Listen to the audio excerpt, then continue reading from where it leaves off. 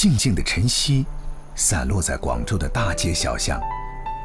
有着两千多年历史的城市，被街上的车流唤醒，朦胧着睡眼，迎来新的一天。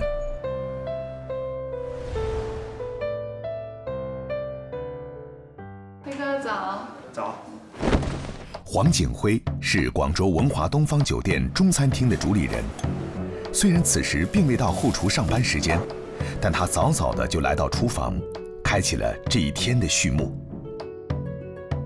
我都唔係日日咁早翻嚟嘅，未到上班嘅時間，對啲細佬係一種壓力。琴晚諗咗幾個菜，今朝翻嚟實現下。呢一道菜咧係啤酒鮮鰻魚膠煮黃魚。首先咧將黃魚煎香，大火浸入啤酒，小火慢煮，大火收汁。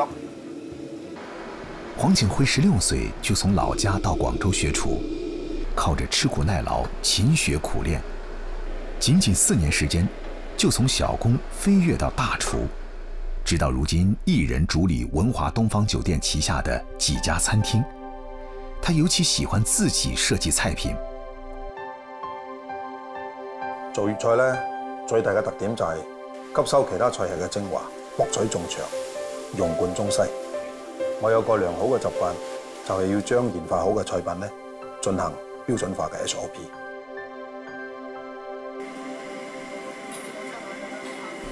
正是这种终身学习的习惯，黄景辉主理的文华东方酒店江餐厅，连续三年蝉联米其林两星。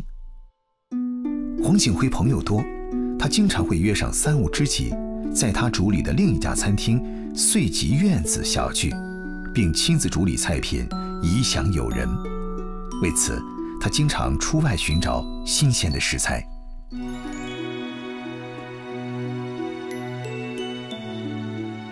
台山海域环境优异，是广东四大名蚝台山蚝的传统产区。每年十一月至来年四月，正是生蚝肥美嫩滑、鲜甜爽口的时候。营养丰富的台山蚝。成为黄景辉隐藏菜单上食材的首选。台山生蚝生长于咸淡水交汇处，连片生态优良的浅海水域造就其出众的品质。哇，高山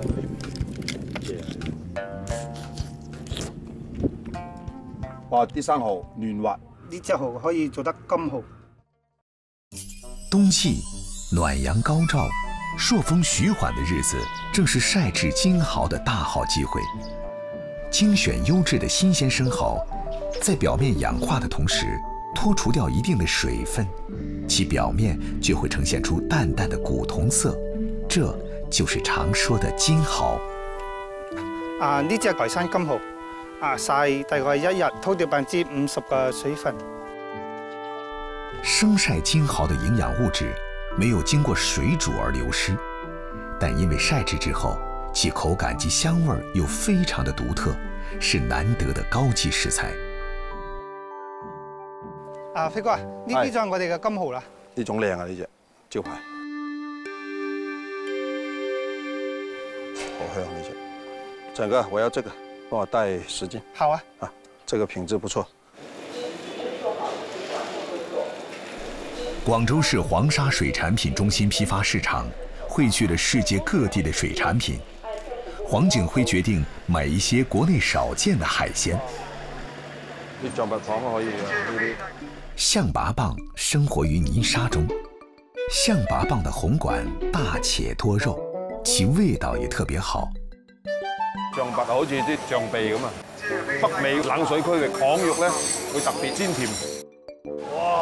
呢隻象拔蚌勁啊！呢個廣東之王啊！象拔蚌一般都係刺身嘅食法，今日咧改做一個雞湯苗雀口切加拿大象拔蚌。走地鸡清水包滚出味儿，仅留清汤。象拔蚌洗净，只取红管，切成四方厚块儿。放入滚烫的鸡汤，汆烫十秒，与虾酱芥兰一起摆盘，清新雅致。象拔蚌外表已经烫熟，内里却刚刚脱生，爽脆甘甜。因为虾酱的激发，象拔蚌的鲜味得到了更大程度的释放，回甘更加强烈。金蚝、黑松露这两种食材碰到一起，会有什么样的效果呢？呢道菜就係將兩種中西頂級嘅食材充分融合喺埋一齊。金蚝先用油煎香，再用爆汁焖煮，搭配上溏心干爆，浓稠的爆汁荤香，夹杂着金蚝的腥香。撒上黑松露之后，丝丝缕缕的奇异香味进入鼻腔。葱叶数切加油，及调味料拌匀。新鲜濑尿虾只取其肉，外包春卷皮，炸至虾肉刚刚脱生。然后选取俄罗斯鲟鱼鱼子酱，与炸虾菇搭配。鱼子酱微腥味咸，首先在口腔爆开，然后是酥脆的炸虾外壳。再咬进去，才是满口虾菇的鲜美，口腔中的层次突然变得鲜明。周末是黄景辉邀约知己好友相聚的日期。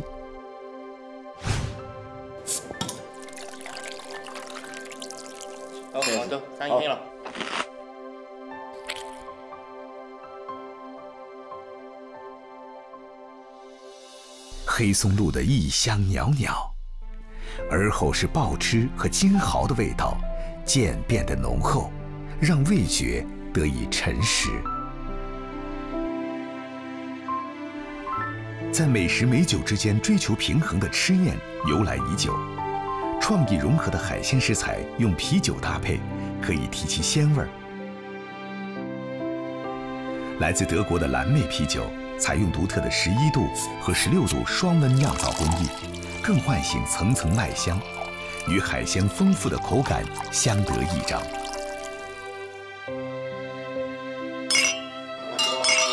饮食我啊，饮食啊，饮食。这蓝妹啤酒确实不错，大家多喝几杯啊！好，再见。啊。